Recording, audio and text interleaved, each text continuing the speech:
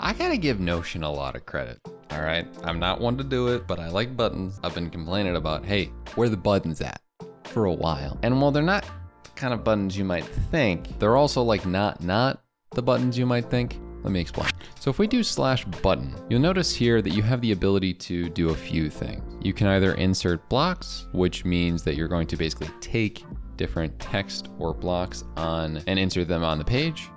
You're going to be able to add a page to a database, which essentially is like what you could do with template buttons and drag them over, but instead just add them right in. Or you're gonna be able to edit the properties of specific pages in a database. So this is almost a bulk action option. You also are going to be able to open a specified page.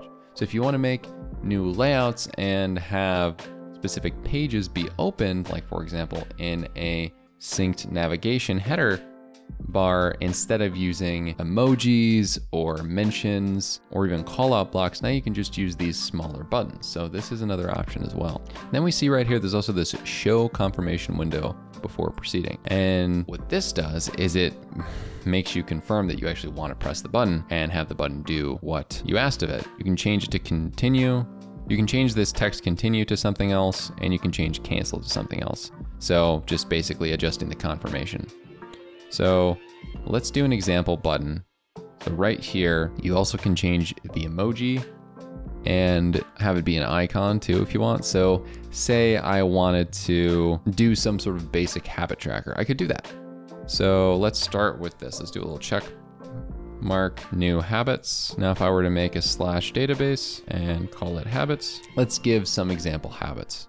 So first would be drink a gallon of water, then could be go for a walk, do 100 push-ups because I'm yoked. And then we'd go here, we could add some emojis like water and then just someone walking and then a little flex for push-ups. All right, so now with just a basic habit tracker, after I leave it to these, what I can do is in this edit button, I could delete this out from the show confirmation standpoint and just to mention this to be clear, these are all different things you can add in steps. So the insert blocks, the add page to, the edit pages, and these are all steps that can be added in a sequence, which is cool. So it's like the template button on steroids from before. Now, say you integrate these buttons into the databases and you have formulas, I'm just saying, you'll basically be like Coda.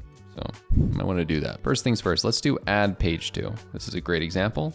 So select a database and after a moment, something will populate here. I could type habits and then wait. I will say as of recent, Notion has been a little slow.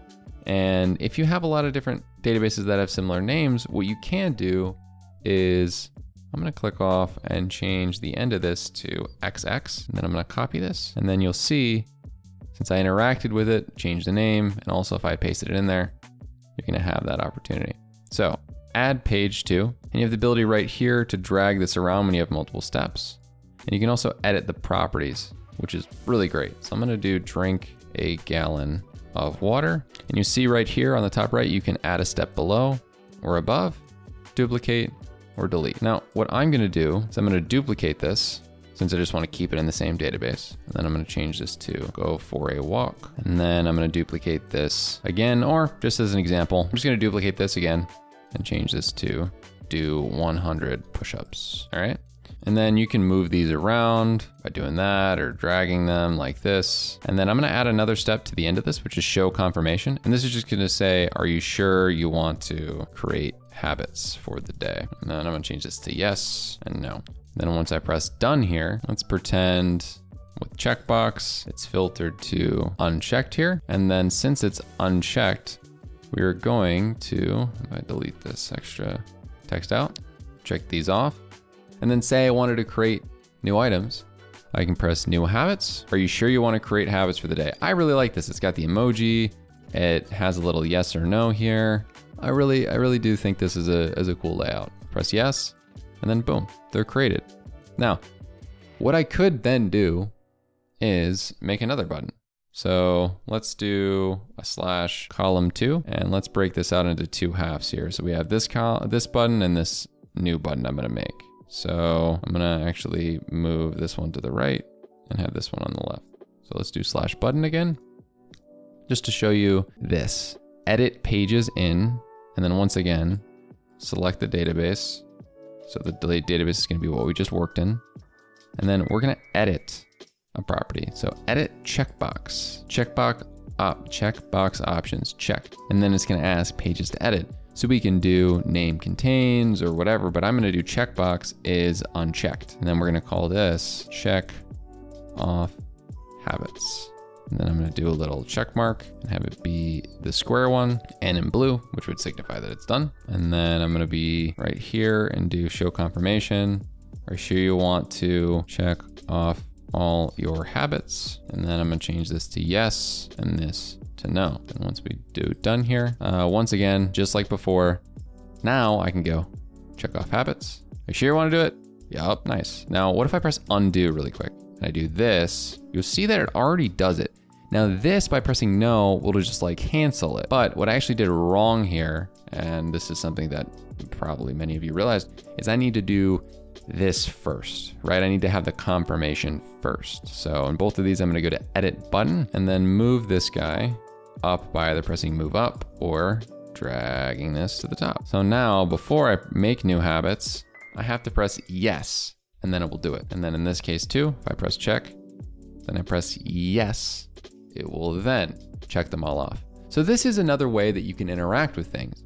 Just like before I mentioned that you could have a synced header, what if we did a slash column five, or sorry, three with these, or four, and we just do slash button. Now, in this circumstance, what probably would make sense is you edit them like this. So we do slash column four again. We make a couple buttons and then let's do slash button. And I want to do open page. So select open page, maybe the home page, and then I can just steal the name and whatever, like the orbit, and then we can do like TTP hub. And then we can open the page in either center peek, full page, or side peek, which I think is pretty cool that it's giving you these options. And then I'm just gonna duplicate this and pick some other pages. So I'm gonna do like my actions page, just like my main task management page, actions, do a little check mark. And then let's maybe say, once again, I wanna do my content calendar page, do a little video, and then open the content calendar page. And then we can do one more, which could be, in this case, let's just edit this and do uh, planning is gonna be the planning page. So now what we can do is we can slot this in to this sort of view. And unlike callout blocks, which take up a little bit more space, what we can do is we can have a nice little navigation bar with these dots. Now, how would I make sure that these are all uh, gonna be like moved throughout? What I can do is type slash synced block and then do a slash call for, and then drag these in to each column. And what then I could do is copy and sync. And when I go here, it's gonna go to that page and then let's just at the top, paste. Okay, let's go here. I'm going to press enter and then paste again. And I can go through this whole process of like any sort of sync navigation bar now has a much shorter and much smaller and conciser option. And then I can go to the content calendar page and do that exact same thing, right? So all I did there was copy and sync, go to each page, press enter, and then control V it. So we got a pretty cool synced header situation. I know that I use the Notion app system, but this is a great option for those of us that are not interested in it uh, because they're just so much more convenient. I mean, I have a pretty similar system set up in this GTD dashboard with these mention pages, and I have a very similar system set up in my Notion second brain template, as you can see with the callout blocks. But if I ended up being able to use buttons, this would be a little bit more concise because you see right here, I mean, this takes up a lot of extra space and I'm only able to click on the text here rather than this. There's no hyperlinking. So this new button capability is awesome. You can edit properties, you can do, you can create new ones, you can use it as like a sync navigation. All of this kind of stuff is really great with the new buttons update. If you're interested in more content like this, make sure to subscribe and check out this video on how to improve your productivity even more.